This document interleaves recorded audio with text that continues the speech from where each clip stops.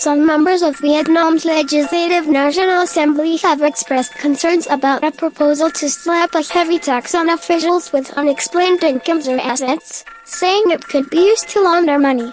Under an amendment to the anti-corruption law drafted by the Government Inspectorate,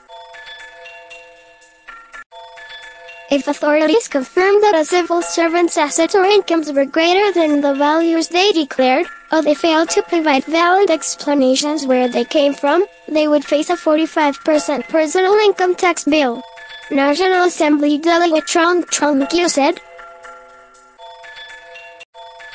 We should not impose a personal income tax on civil servants who fail to provide valid explanations for their assets, because the tax would only be levied on their legal incomes. The proposal made by the inspectorate could pave the way for money laundering, he said. Explaining that the tax payments could help civil servants launder money earned from illegal activities such as the trade of drugs and smuggled goods, corruption and stealing public assets. Violators would be willing to pay the 45% tax and keep the rest.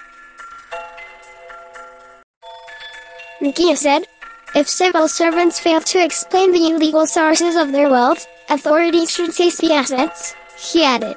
Agreeing with Nghia, Delegate Luu Binh said the proposal was groundless and infeasible. Tax rates should be regulated under the tax law.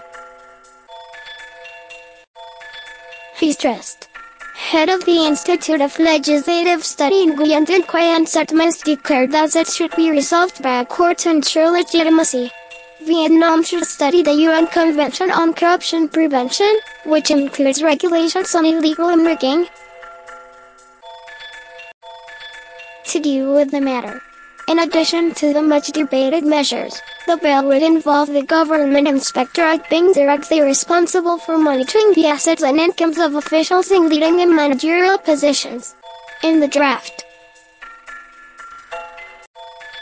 The government inspector also suggested making it mandatory for civil servants to make all major payments via bank transfers to control their incomes.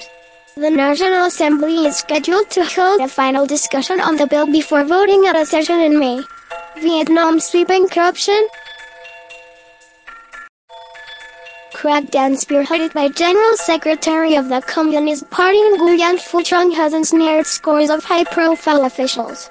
The party has pledged to step up its fight against corruption even further this year to filter out corrupt officials and tackle violations committed at local levels. The Corruption Perceptions Index, CPI, released by Transparency International in February, ranks Vietnam 107th out of 180 economies based on perceptions of experts and business people. Vietnam scored 35 on a scale based on for deep-rooted, systemic corruption, and 100 for a very clean environment. Last year, it was ranked 113th out of 176 countries and territories with a score of 33, an improvement from 31 in 2012.